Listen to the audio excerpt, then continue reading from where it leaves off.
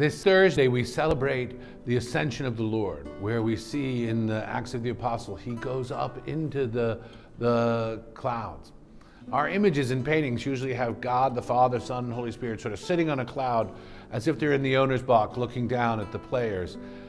But it's not really the case. In reality, it's not so much Jesus going away from us, but our humanity coming most fully into God's life.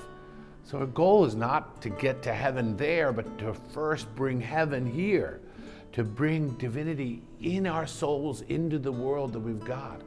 That's what, that's what the Lord is calling us to, to a vocation to holiness in this life, so that we may know and love Him in the next life.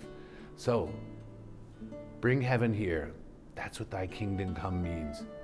Now share this and get off your phone and have a blessed feast day.